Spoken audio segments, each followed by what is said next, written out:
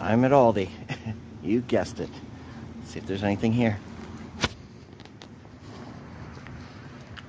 No, yep. Okay. There's definitely something here. Let's get in there. Oh, baby. Okay,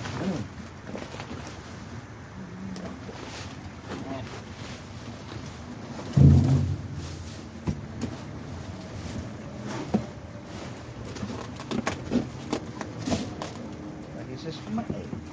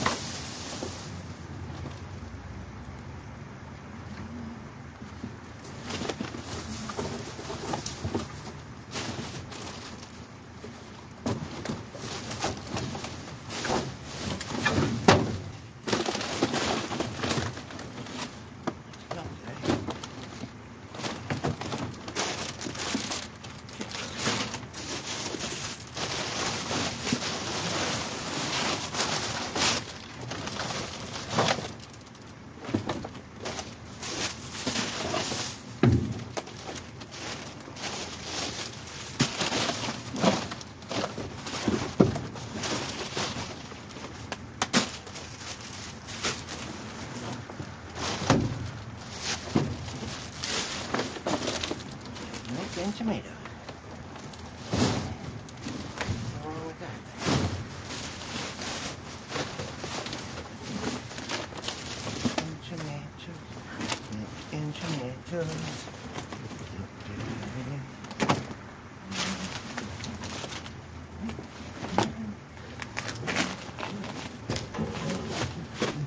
I hope I don't break it.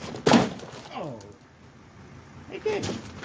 That's the first time I've ever done that.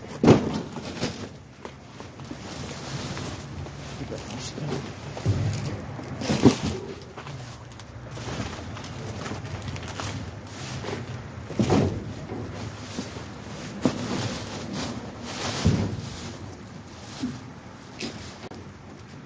That was crazy. I gotta go. Well, Frugal Daddy returned, and it's an interesting little haul. Very useful food items. And it all adds up. And it's nutritious. It's just not a huge haul.